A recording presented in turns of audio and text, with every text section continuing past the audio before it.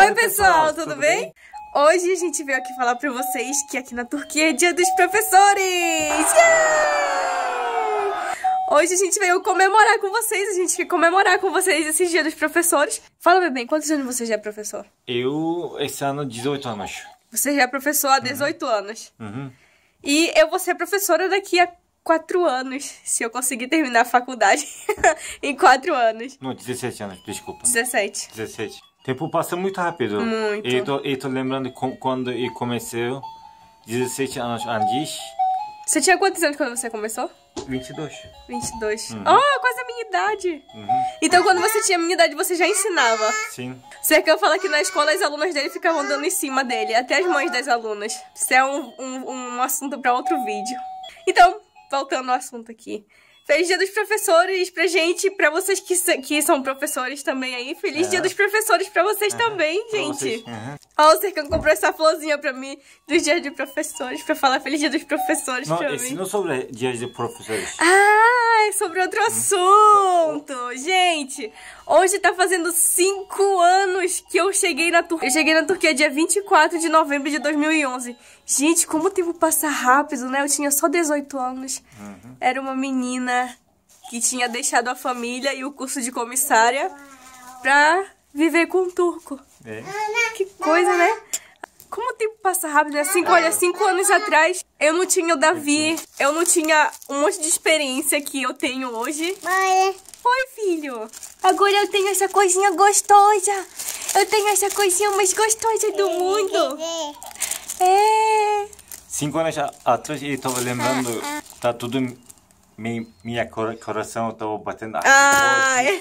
Mas tá chegando... Era pra mim ter É, é, filmado, gente. Eu me arrependi tanto É, é, de é. não ter filmado a gente se, se. Quando a gente se viu pela segunda vez. Porque a gente já tinha se visto pela primeira vez no Brasil. Eu tava muito feliz, animado, minha coração tava batendo assim, gum, gum, gum, gum. Eu tava pensando, esse dia eu fui para trabalhar escola, todo dia eu tava pensando, mas era, entrou para avião, tá viajando bem, ele tá como ele tá, como coisa, tá minha eh, cabeça tava rodando. Depois eu saí da escola mais cedo. Depois eu fui para o aeroporto, quase 30, 40 quilômetros. A gente tava morando em Istambul, esse tempo. Quando eu cheguei no aeroporto, o Serkan tava lá me esperando. Com um monte de flores. Ai, Foi tão bonito. Vou colocar uma foto pra, umas fotos pra vocês verem aí, gente. Não tem o vídeo. Não, por que eu não filmei, cara? Eu nem, eu nem pensava em filmar nesse tempo.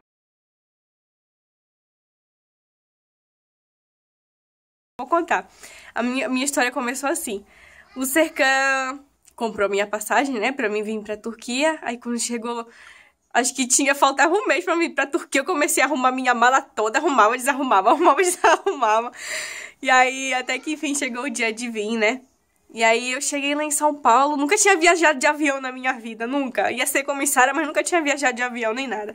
Aí cheguei lá em São Paulo, eu na fila, aí será que tô na fila certa? Aí tinha uma menina da Síria, ela tava até grávida nesse tempo, e um brasileiro. Eles eram casados. E aí eu perguntei pra eles assim: ah, essa fila aqui que vai lá pra Turquia é. eu não sabia de nada, gente, tão inocente. E aí depois eles falaram: é, é aqui mesmo. Aí eu fiquei atrás deles, né? Aí depois eu fiz o check-in e tudo. Aí no avião a gente veio junto, eles me acompanharam e tudo. E depois disso eu não tive notícias mais deles. Eu queria saber como é que eles estão, porque eles tinham um filho, uma filha que tava na Síria ainda. Eles tinham ido buscar o filho, o filho deles que estavam na Síria. Eu, nunca mais eu tive notícia deles. E quando a gente chegou lá no aeroporto, o marido dela até se emocionou, não foi, bebê? A gente se abraçou assim, não foi, bebê? Ai, foi tão bonito, eu queria... Ah, era pra ter filmado. A gente só vai lembrar isso na nossa cabeça, só a gente não tem vídeo nem nada. Na aeroporto eu tava olhando pra pessoa que tá saindo da porta e tô olhando. Ah, eu demorei pra sair, que a minha mala demorou pra chegar. Eu falei, esse tempo, no- namorada, né? Noiva. E tava falando. Noiva, era noiva. Ah, e tava olhando, cadê minha noiva? Cadê minha noiva? Ele passou e tô olhando pra atrás, frente, atrás, frente, assim, tudo. Ah, foi tão bonito. Uhum. Esse tempo a gente fez eh, diferente coisa, você, porque a gente beijou faz tempo no aeroporto. A gente se Hoje, beijou no Uhum, aeroporto? Aham, beijou, abraçou. Sério? Aham. Eu não me lembro da gente ter se beijado. Depois algumas pessoas estavam olhando para nós. Na Turquia, você sabe, né? Esse, esse Ah, é. coisa não normal. Mas e sem querer. a gente não se, se controla, né? É, não Sim. consigo se controlar. Aham. Mas no Brasil tava mais. Gente, eu vou falar uma coisa pra vocês. No Brasil, quando o Cercão foi pra passou cinco dias. A gente se beijou tanto, se beijou tanto que ficou uma ferida aqui no meu queixo de tanta gente se beijar. Que a barba dele aqui ficava encostando aqui. E eu vou até colocar uma foto pra vocês verem, que ficou até uma ferida aqui.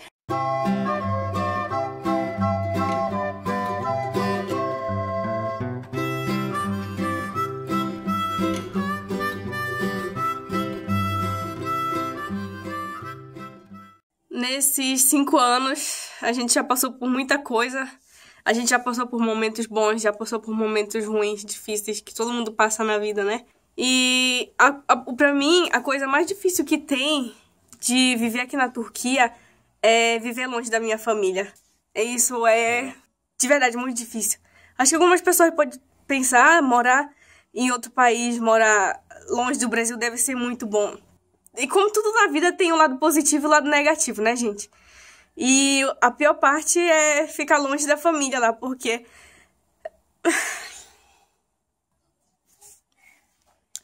Não consigo nem falar.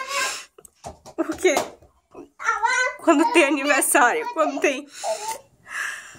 Quando tem dia das mães, quando tem festa em família, sabe? Eu sinto muita falta. Para de chorar essa besta. E é muito difícil ficar longe da família.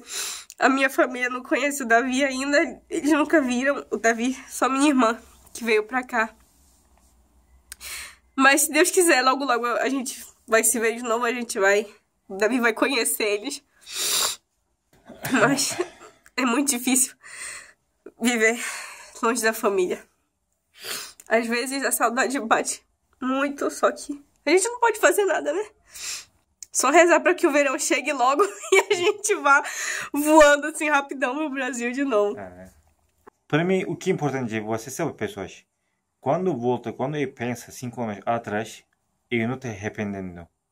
Isso para mim é muito importante. Antes que minha vida, antes que conhecer minha noiva, namorada, na minha vida eu estava eu tava tentando não lembrar um dia, dois dias, uma semana atrás. Eu não queria olhar. Davi. Uhum.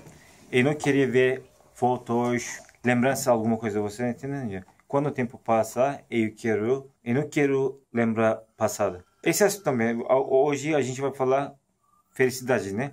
Bora voltar para nosso assunto. Cinco anos at- atrás, quando pensar, eu estou feliz, é, animado, é, amor, é tudo isso tem ainda. Quando eu volto para casa, eu eu quero voltar um minuto antes. Como eu estou pensando, como eu posso voltar para casa um minuto antes? Eu quero ver minha mulher e meu filho. Acho, acho que isso é muito importante. Tomara que vai continuar assim até morrer. Eu quero que até morrer eh, todas essas coisas continuar. Amor, animado, felicidade, saúde. Eu quero tu- todas as coisas continuar. Voltei, eu também. Aham. Isso é importante. Outra coisa, eh, eu quero falar sobre quando eu fui para o Brasil cinco ah, dias. Eu ficou lá, não cinco dias, mais do que cinco dias. Foi cinco. Cinco? Foi. Hum. Esse dia eu quero eh, compartilhar com você, porque esses cinco dias parece sonho. Passa muito rápido. Foi muito bom. É, tá bom. A gente vai contar isso Em outro vídeo. História, outro o que vídeo. aconteceu quando o Cercão passou cinco dias no Brasil? Uhum. Pessoal, como vocês sabem, a gente gravou um vídeo perguntando pra vocês o que é que vocês querem saber sobre a Turquia. E outra coisa, depois que a gente fez esse vídeo, a gente teve uma ideia. A gente tá pensando em fazer, ficar online, assim, como é, ao vivo, ficar ao vivo todos os sábados em alguma hora. E a gente quer perguntar pra vocês que horas vocês acham melhor pra fazer isso. Que horas você vai livre? É, que, né? que horas vai Poder ser melhor pra vocês? Pra, pra gente conversar ao vivo. A gente achou legal esse negócio de falar ao vivo. Hum. Só que o, o áudio ficou baixo, eu não sei porquê, não sei como, como é que a gente tem que fazer, mas a gente dá um jeito, né? Uhum. A gente vai aprender. Por favor, vocês comentem aí que horas que vocês acham melhor fazer, ficar ao vivo, assim, pra gente conversar ao vivo. Uhum. Tirar nossas dúvidas, se conhecer melhor, Uhum. pessoalmente, assim, ao vivo. Acho que é. Sábado ou domingo. É, Uhum. sábado ou domingo. Porque outros dias é, a gente está trabalhando, está estudando. A gente só tem esses É, dias livres. pra vocês também acho que vai ser difícil. Sábado, domingo, bora escolher dia e horas. Não, a hora, porque a gente escolheu o dia. Ah, É, ou sábado ou domingo. aham. Hora, depois você escreve na hora de Brasil, É, o horário do Brasil. Brasil, ou, de onde não- você? Uhum. De onde eles são? Ah, é, pode escrever de onde vocês são, ó. Um monte de gente perguntou pra mim de onde eu sou do Brasil. Vou logo falar aqui. Eu sou do Pará. Sou paraense. Como açaí com farinha e charque. Ai, sou paraense, gente. Sou vizinha da Joelma. Calypso! Vocês sabiam que quando eu tava na escola eu era Joelma? Minha pequena Joana. Mano, eu era uma Joelma, era Joelma. Todo mundo na minha cidade me conhecia, gente. Não, e pra quem é do Pará e quer saber qual é a minha cidade do Pará, eu sou de São Domingos do Capim, a capital da Pororoca. É, São Domingos é uma cidade muito pequena, não tem nada lá. Mas tem a Pororoca e todo mês de março tem a Pororoca, as ondinhas que vão assim. Uh, tá bom, tá falando muita besteira já? Não, eu quero falar uma pequena coisa. Não aconteceu alguma coisa na eh, na, na escola? Esse está mostrando, esse exemplo está mostrando como aos poucos, alguns aos poucos estão pensando, entendendo? Sobre comida de dias de professores. Acontece isso. Com- com- Ah, hoje é dia dos professores e teve um negócio, aconteceu um negócio na escola do Sercan. Negócio muito chato. Eu quero, eu quero dar esse exemplo, acho que vai explicar como alguns os turcos estão pensando como a mente, entende? A, na Turquia, problema é esse tipo de mente para para nós. Vocês não esqueceram, eu vou contar essa história para vocês. Uhum.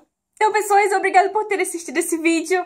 Feliz Dia dos Professores! Feliz 5 anos de Turquia pra mim! E. Beijo, gente! E até sábado! A gente vai fazer o vídeo sábado respondendo as perguntas de vocês. A Tchau. gente vai responder todas as perguntas. Acho que esse vídeo vai ser grandão. Mas a Tchau. gente vai responder tudo. Todo. Tchau, gente! Fiquem Bora com conversar. Deus. Fica e com- até o próximo vídeo. Tchau, tchau! Tchau, tchau.